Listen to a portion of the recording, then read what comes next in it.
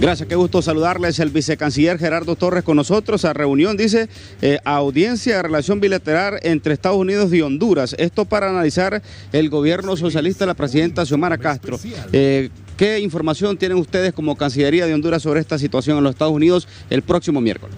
Bueno, eh, estos se llaman hearings o en español escuchas, ¿no? audiencias. En las que el grupo de diputados que tienen diferente información sobre un país comparten esos datos, comparten esa información eh, y hacen un análisis de la situación del país.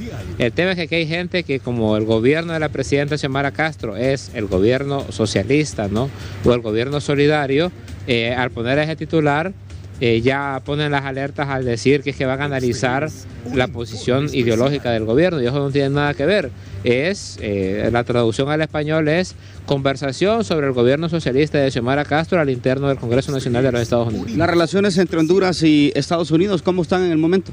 Muy bien, nosotros estamos trabajando de manera coordinada a nivel de defensa, a nivel de gobiernos, a nivel de gabinetes.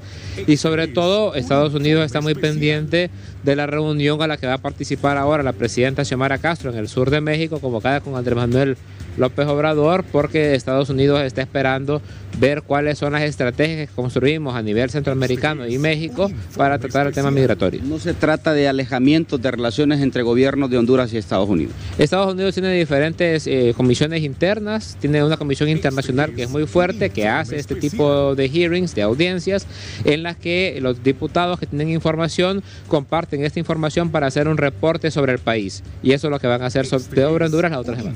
Muchas gracias vicecanciller Gerardo Torres con nosotros a esta hora eh, sobre esta situación y este anuncio desde los Estados Unidos. Junto a Miguel Ordóñez con ustedes.